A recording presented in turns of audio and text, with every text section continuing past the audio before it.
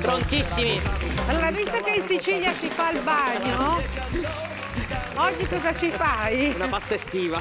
Una pasta estiva, no. Facciamo dei gnocchi, no? Dei gnocculi. Gnocculi, gnocchi. Che differenza c'è con i gnocchi con i gnoculi? Allora, intanto un impasto fatto con semina di grano duro, acqua e siccome gli gnocchi sono al nero d'avola o un vino rosso, quello che volete, ho utilizzato del vino rosso. Certo, ridotto. giustamente usa il nero, nero d'avola perché è un vino rosso Esatto. siciliano, eh, tipico, peraltro buonissimo. Buonissimo, quindi, vabbè, ma quello utilizzate ave- quello che avete. quello che vo- della vostra regione, un bel Esattamente, vino rosso. va Un- benissimo. Un, po' corposo, ma neanche troppo, cioè il nero d'avola è giusto. Ma va bene anche un cirà, un Eh, sangiovese, insomma. Quello che volete, ok. E gli gnocchi sono è una pasta praticamente non con gli gnocchi, è una pasta eh, che viene poi cavata, si chiama gnocchi cavati perché vengono schiacciati. Esatto, servono anche della salsiccia per Il dare un po' di condimento è fatto con scalogno, erbe aromatiche, salsicce e semi di finocchio, Mm. questa è per la prima parte. Poi abbiamo un ragù di funghi con dei funghi misti, quelli che insomma abbiamo a disposizione.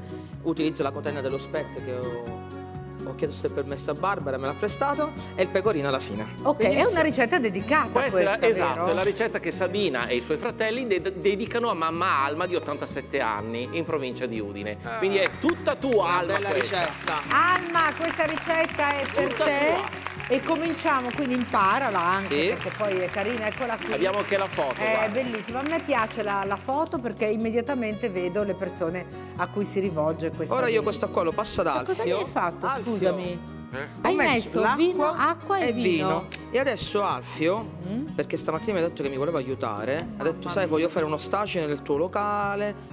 Vieni. Inizia- Vuole venire in Sicilia in vacanza. Dai. Ah, capito. ecco. Dico al massimo gli faccio fare il posteggiatore fuori, no? Dico, Eh, esatto. Allora dai, vai lì ecco. nella postazione del Vieni, vieni qua. Perse. Dai, e inizio cosa deve fare? Deve impastare. Facciamo un bel impasto. Da spostare una macchina. Eccolo qua. Aggiungi un po' da. Noi ce l'abbiamo già pronto. No, ce l'abbiamo già. Sì, ovviamente, Antonio. Anche perché questo impasto deve riposare No, eh, fuori dal frigorifero a temperatura ambiente. Eh, Quindi vedete che è scuro perché dentro c'è acqua e nero d'avola, quindi Esatto. il vino rosso, eh. Li prepariamo già, così una volta che abbiamo Così li l'impasto. facciamo vedere. Sembrano un po' dei cavatelli, posso Brava, dire, no? sì. Gnocculi, cioè non sono dei gnocchi, sono... Brava. Vedete, paese che vai, dicitura che trovi. In realtà, per essere precisi, sarebbero gli mezzi gnocculi, come la mezza busiata, soltanto una questione di lunghezza. Ok. Ok? Quindi noi facciamo, prendiamo un pezzettino di pasta che ha questo colore bello autunnale, insomma, Appunto del vino rosso. del vino rosso, sì. Facciamo il lungo... Facciamo, è molto semplice, anche divertente fare con i bambini perché si utilizzano Le, le, mani. le- sì, polpastrelli delle proprie mani, quindi la dimensione Bella è morbida eh, con questo Sì. l'acqua. Ecco, se fosse in frigorifero sarebbe più tenace, quindi il consiglio è di tenerla fuori dal frigorifero. Poi quattro polpastrelli schiacciamo in questo modo e li stacchiamo. Quattro. Così, quattro.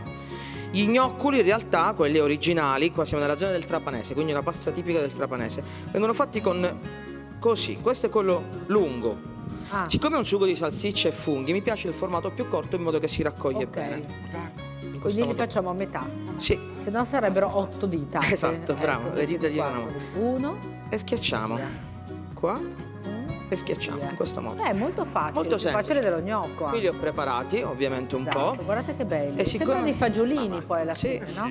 E questi incapi guardate sono bene. belli perché raccolgono il Sembrano dei fagiolini, sì, perché raccolgono il sughetto. Siccome è una pasta, come vedi, abbastanza spessa, quindi non ha il classico La due minuti di cottura, sì, Eh? richiede un po' di più.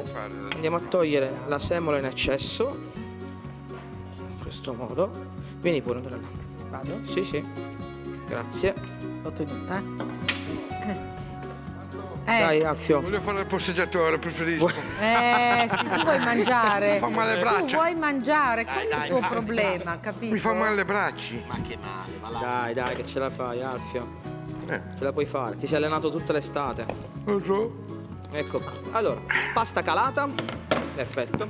Ci dedichiamo adesso alla nostra salsa. Quindi dicevo, abbiamo un soffritto che qui l'ho fatto un attimo partire con lo scalogno tritato, il nostro Ok. scalogno. Sì, Aggiung- anche se non lo tritiamo, lo sappiamo. Sì, aggiungo i semi di finocchio Ok. perché la salsiccia tipica delle mie parti è con i semi di finocchio. È vero che poi c'è anche a chi non piace. Però a a chi sì. piace, se non sono Sì. nella salsiccia, li mettete Li fuori aggiungiamo, sì. salsiccia. Esatto, che dà un buon, buon profumo. Anche al ragù, quando fate un ragù classico, con qualche semifinocchio mi piace.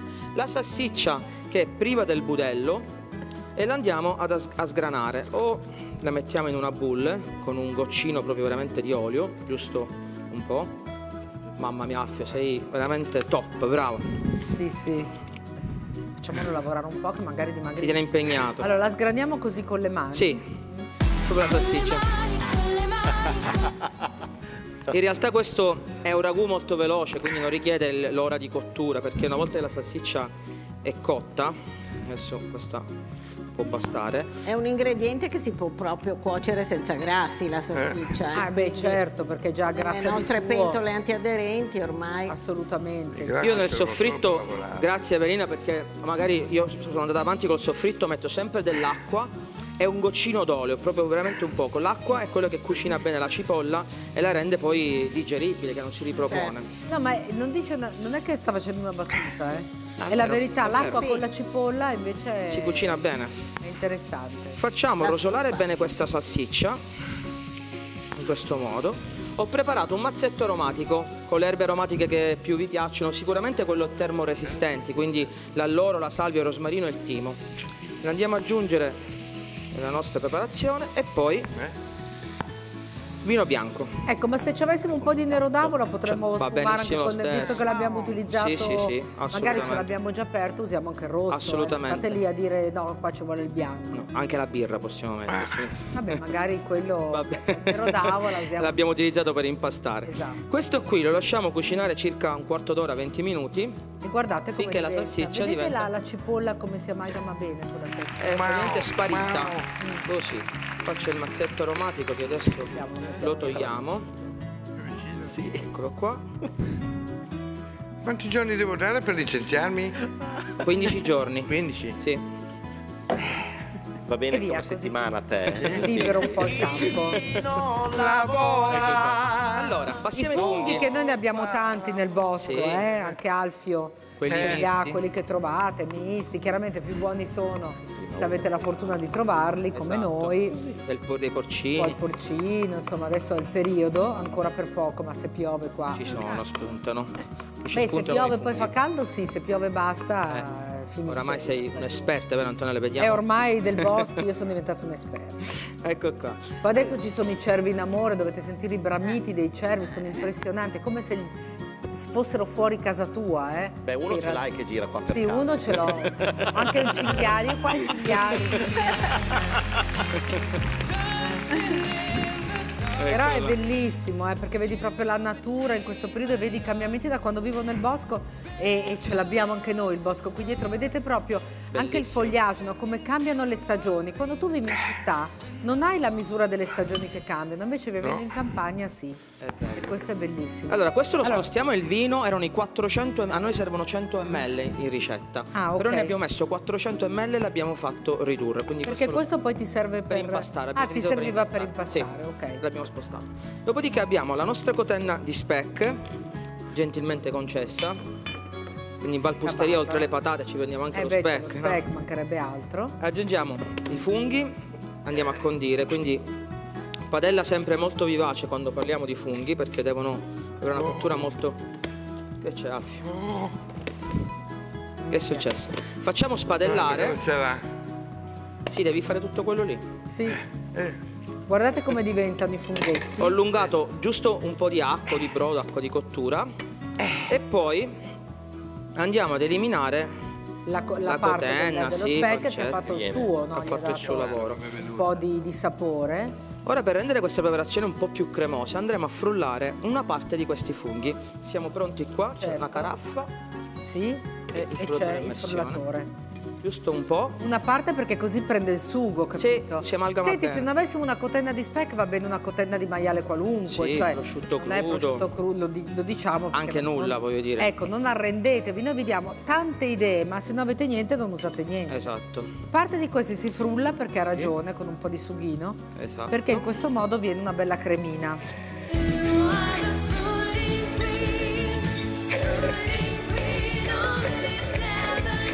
Questo è buono anche sui crostini, eh?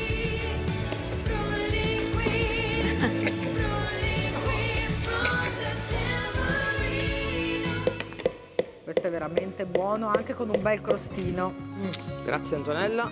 Ecco che adesso la magia, perché così la pasta non risulta slegata, ma Esatto. bella cremosa. Io dico sempre frullate sempre una parte di verdura perché questo amalgamerà molto meglio la pasta. Poi andiamo ad aggiungere tutto Eh, il nostro... tutto la, la salsiccia con la cipolla, con Salsiccia. lo scalogno. Esatto. E guardate cosa diventa, eh. Ed è un ragù di salsicce e funghi molto veloce perché insomma non ha Poi la salsiccia con i funghi è la morte sua, eh. Togliamo la pasta, Aspetta che ti tolgo questo. ecco. siamo. Così li utilizziamo per la decorazione. E siamo quasi pronti per condire il condimento. Siccome ne abbiamo fatto tanto questo condimento, ne togliamo un po'.